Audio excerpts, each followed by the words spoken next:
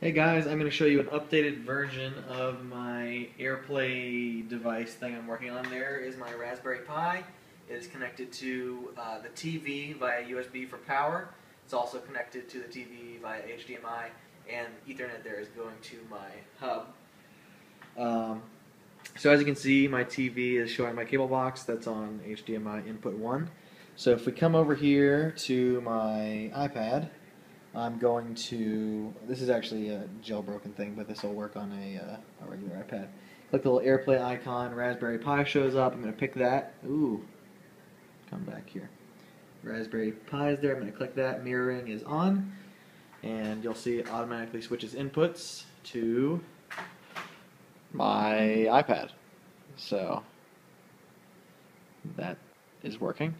And then I'm going to go down here and turn that off and you'll see it switches right back to my cable box. Uh, likewise, if I go to YouTube and play a YouTube video, throw it to the Raspberry Pi,